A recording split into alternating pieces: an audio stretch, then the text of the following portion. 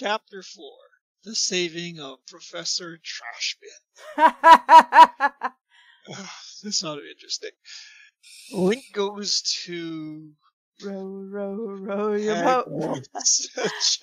Link row. He rows. For, for a new chapter and stuff. This Malaclure. I don't own Harry Potter and stuff, nor do I own the Legend of Lead.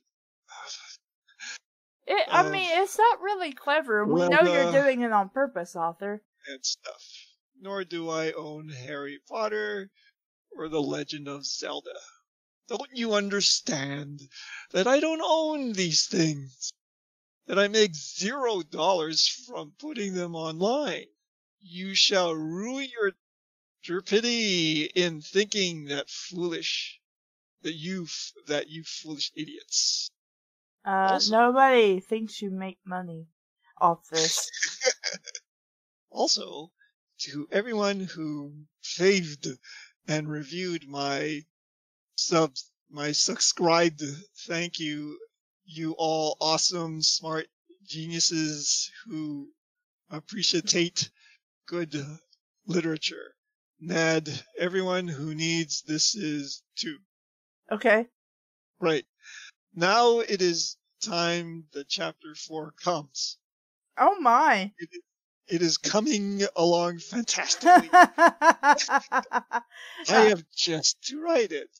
But when you read this, it will have came because it was written by then, but not now as I'm writing it, but as you are reading it. It will have already been written because you wouldn't be able to read it otherwise. my my brain, it's like going into infinity and seeing infinity inside infinity. And now they was in history class and Professor Trashman was floating around being boring. So boring that Link was sleeping. Suddenly Link woke up so he wasn't sleeping anymore. Duh. Link had gotten sick of uh, Professor Trashbin's being boring, so Link pulled out a windy uppity thingy and declared a crazy plan. I hope this works.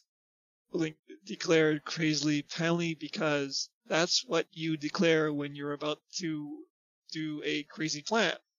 And then he stuck the windy uppity thingy on uh, Professor uh, Professor Trashbin's back and wound it up windily and professorly and professory Trashbin stopped being boring and was filled with immense um, energy and he bounced around the room like a daffy duck, which I don't know.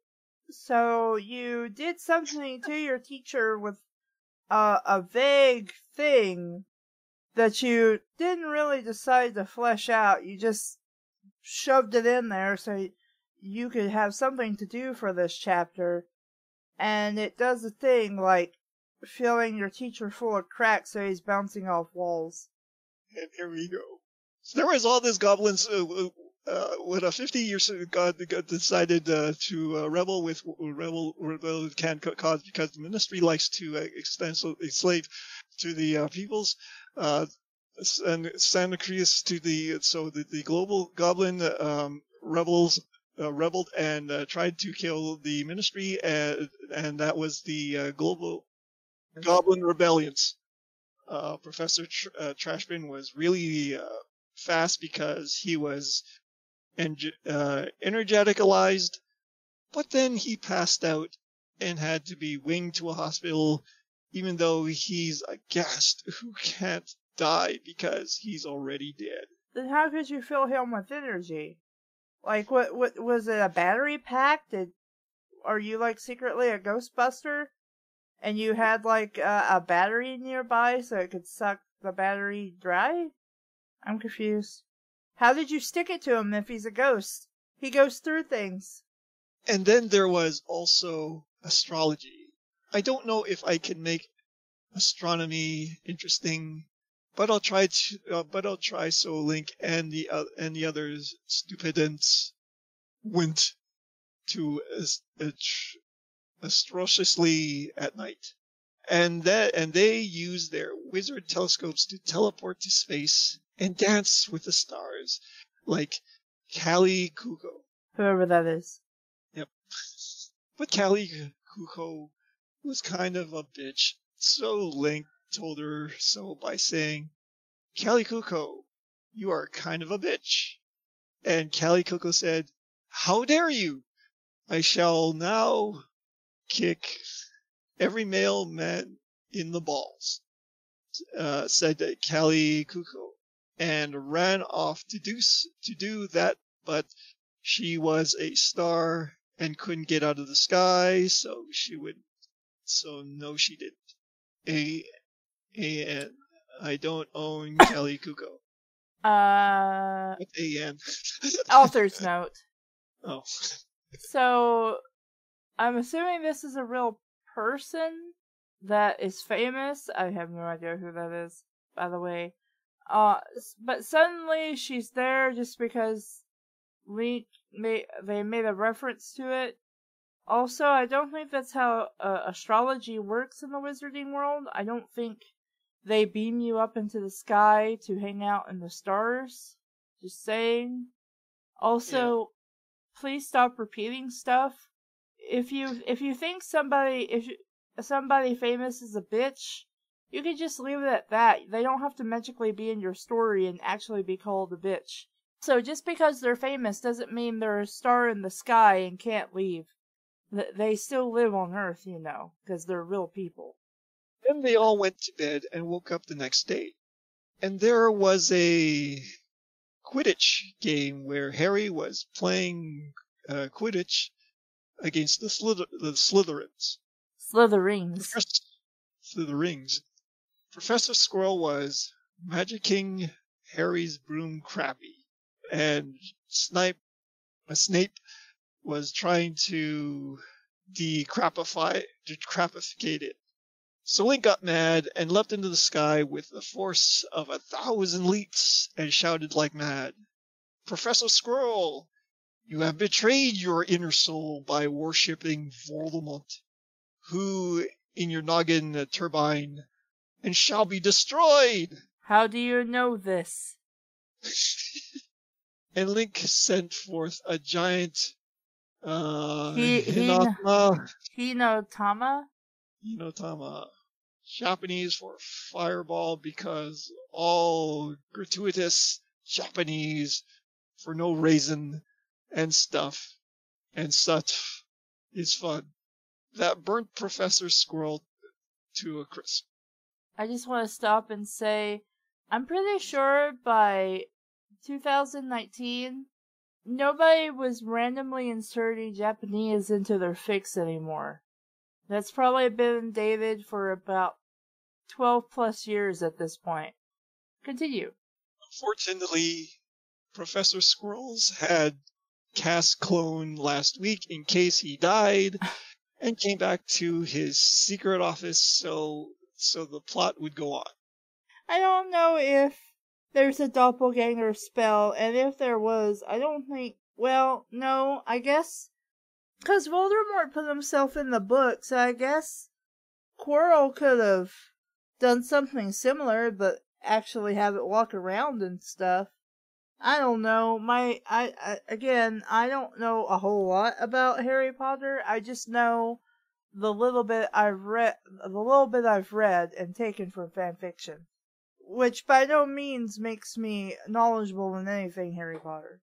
But he did have to be winged to a hospital just in case. His body or his doppelganger?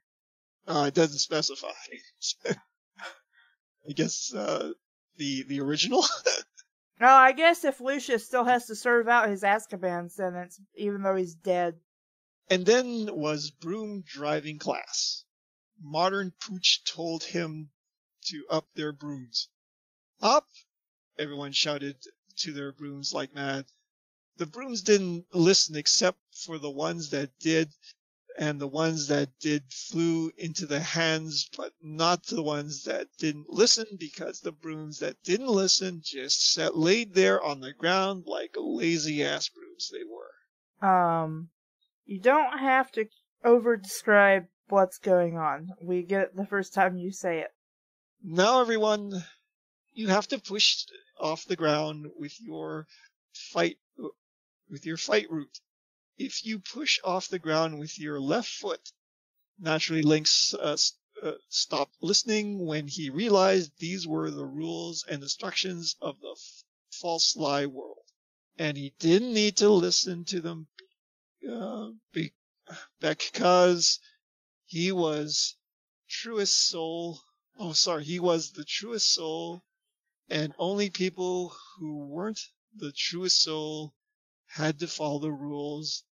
And in Zustand, uh, in Zustands of the false lie world, because their souls had awakened to the truth of the truest soul that walks around truthing in every soul, but when it's, but only when it's awake. So, it has to be awakened, and then you can do anything like Link because he's the truest soul. But only if you become the truest soul too. So wait, he can only be a true soul that can basically be God. But it only works if I am also God. And that means Norm and Mewies, you guys have to be gods too. So when the Ghostbusters show up, you can fuck over the Ghostbusters. Oh yeah, that's true. Suddenly, a helicopter flew over Hogwarts. Why? And That doesn't make any sense. Why would a helicopter show up at Hogwarts? but then it realized he had something important to do, so it left because it's a muggy contraption. Oh, contraception. I felt like I'm I felt like I'm out of classes. So, but it was Xmas holidays now. So they were looking for in rum fashion on Nickelodeon flannel. Flannel. On orange flannel from Nickelodeon? How do they know what Nickelodeon is? They're they're at Wizarding School. The inventor of the uh, Philosopher's Stone. Oh, that guy. So they're I guess he's a Nickelodeon show now. Yes. I have found it. Nickelodeon flannel flannel was some guy who made himself a Immorcu Immorcule um Immortel by inventing the phosphorus stone. Dumbledore is the is his bestest best friend, Link shouted, drawing Madame Pinch, uh, the Liberaine, uh, to him, who tried to come over and pinch him for shouting. But her hand broke on Link's invisible truest soul force field, and she had to be winged to a hospital. Maybe it's a bit much to break someone's hand for trying to pinch you. For, you know, being a dick. Link felt bad guilty for a second, but ultimately had to remind himself that it was her own fault for trying to punch him because it was.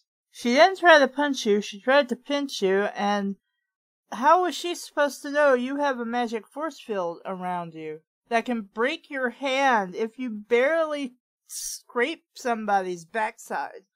The Link came all the way to uh, Gryffindor Tower and went to his bed. And that's for chapter four.